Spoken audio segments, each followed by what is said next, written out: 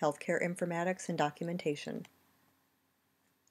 This week, for the video and in class, we will be spending time talking about healthcare informatics, which may or may not be a new topic for you, um, and also how healthcare informatics relates to informatics for nursing practice, and specifically what competencies nurses should have in order to, to have better patient outcomes um, the information that we use and being literate about that, using it in the best possible way for evidence based practice, and how do we manage information in our nursing practice using electronic medical records, documentation, and data and information.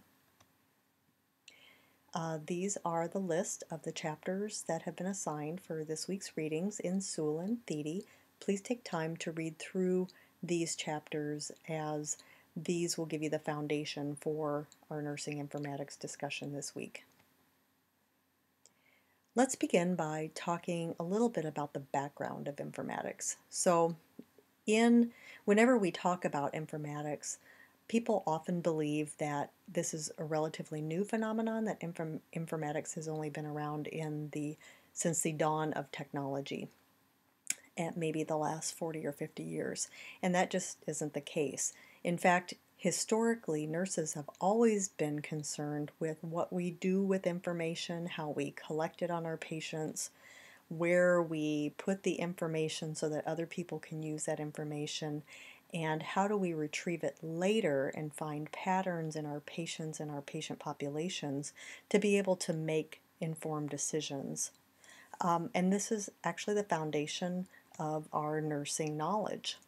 In fact, it is the precursor to the nursing process and how we use and disseminate information, as well as how we develop our plans of care for our patients. So it isn't simply just computers, although computers now uh, are a big part of informatics, just so for conceptual reasons, just expand your understanding about what that is. And we'll talk a little bit more about that in the next slide. Um, so the reason why we have informatics is um, we need it to inform what we do and how we use uh, our information to make decisions for our patients and our patient populations, and we often use the electronic health record to manage that information now. It allows us to stay interconnected with other disciplines so that we can have seamless exchange of information we use it to personalize care for our for our patients as consumers so that they're informed about the decisions that they make and to improve public health uh, through surveillance of things like the Ebola outbreak that's happening right now in Africa. How we collect that data can be varied based on the way the technology that's available and how we use that information as well as with quality measurements and research. So, how do we improve what we do, and when we do things, how do we base it on evidence? So, let's we talked a little bit about what healthcare informatics is and how is this different than health. Uh, how is this different with than nursing informatics? So nursing informatics is actually a subspecialty of health informatics and you can see in this Venn diagram that there's a body of knowledge that you're beginning to learn about that is the body of nursing science. And nursing science is actually an amalgam of many different sciences like biology, chemistry, pharmacology, psychology, uh, mathematics, uh, many things that go into what we conceive as a science of nursing, our body of knowledge. And where it all comes together is how we use information science, and this would be the people that are more inform, um, more educated in the areas of how information is retrieved and disseminated, um, like health records specialists, and computer science people, which are the the ones that are specialists in the area of how computers function in the language and how computers process information and manage data. So uh, the, uh, this is specifically in nursing informatics is how nurses manage that information. And it's a point of care data, usually from our patients, uh, usually at the bedside, and it's how we use information and kind of interface with the worlds of in information and computers to have better patient outcomes. So, why do we have to know more about nursing informatics? Well, there's a lot of forces out there that give us um, rationale why we need to do what we're doing with, with informatics and why we as nurses need to own more of what we do with informatics. So, some of the national forces that are behind uh, this movement for informatics is the Institute of Medicine, which have expressly written core competencies for all healthcare professionals, including nurses, that we just need to be better at knowing what to do with information and how to use the computers that help that information work with other disciplines for better patient outcomes. Then we have the uh, uh, PITAC, which is the Presidential Information Technology Advisory Committee. That's a mouthful. And uh, this committee has put forth, for safety and quality reasons, um, uh, for um, ideas that we need to have a standardized terminology between all of our disciplines, and that means um, that information and computers should be talking the language of healthcare so that if I'm talking to a physician or an anesthesiologist or a pharmacist that we're all using the same language. And as far as from nursing standpoint, we have the National Center for Nursing Research and this agency, which is an arm of the National Institute of Health, have created program goals for nurses and the competencies that nurses should have. And these core competencies have been adopted by the American, uh, the American Nurses Association, the National Leagues for Nursing, and the American Association of Colleges uh, of Nursing. These core competencies have uh, since been adopted by many institutions of higher education, including UW Eau Claire, um, mostly because of the 2008 Tiger Initiative, which is a technology information guiding education reform initiative that came out as a result of these these recommendations from ANA, NLN, and AACN. There's some other forces involved outside of um, uh, clinicians and federal governments.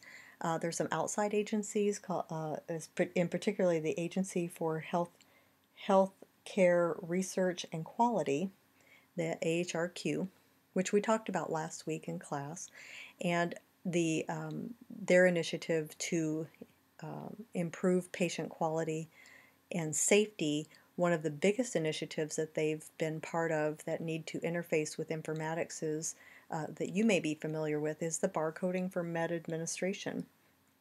And although in the nursing homes where you're working now, that may not be the norm, it probably will be in within the next few years. And hospitals have already adopted this um, as a multi-part uh, compliance with the federal government, uh, and um, long-term care facilities will be closely behind.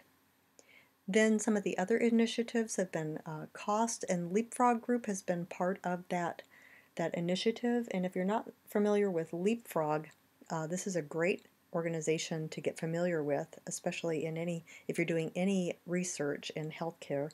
Um, and what Leapfrog is is they create these scorecards for health agencies, and their whole goal is to increase transparency in healthcare agencies and improve quality and safety. And they do this by collecting data on these healthcare agencies and reporting their scores on these publicly available scorecards. So people are incentivized uh, to to be part of these uh, initiatives to have better data gathering and information dissemination based on um, patient outcomes. So some of the benefits of, of informatics is in the past when everything was on paper, things were kind of buried. Um, to find a patient record individually would be maybe something you could manage, but finding trends in the patient care may be more difficult to see. Um, and if you were looking for trends within a community, those might be nearly impossible to connect the dots because it would take a lot of manual pieces of paper and somebody sitting down with a piece of um, grid paper and drawing some lines between things and trying to find the patterns. Um, with the advent of computer and information sciences working with nursing and other healthcare informatics, uh, we're able to find those patterns a little easier. It also improves the communication between the providers. So now the information isn't simply on a written piece of document. This information can flow electronically between agencies and between providers uh, to be able to get that information out quicker and to find patterns a little sooner. Um, easy quick storage and retrieval of records. Again, we talked a, a little bit about that with the buried data. Um, and a savings of time and money. So it's more efficient um, to, you know, obviously if you're looking for patient data or community data, it's a lot easier to retrieve that information. And it's a savings of money as well because if things are coded appropriately, um, then we're able to identify those areas where charges may not have been documented correctly and um, the agency would lose money because of poor coding. Some other benefits for nursing would be that it enhances our practice and allows us as a science to develop using evidence-based practice as a guiding force. We can use this uh, this information to improve our patients and improve our practice. So it improves our quality of documentation. Uh, thank goodness it helps us decrease our time we spend with our documenting. A lot of things um, are just easy clicks of buttons and we're able to connect dots. Uh, electronic health records are very intuitive now. Uh, they're getting better every year where they can anticipate that if we give something like uh, Tylenol, which has a daily dose limit, uh, EHRs can warn us and have a pop-up that'll say um, that patients already had um, 650 milligrams uh, in the last 24 hours. Are you sure you want to continue? And so there's all these little flags that help us um, protect our patient as well.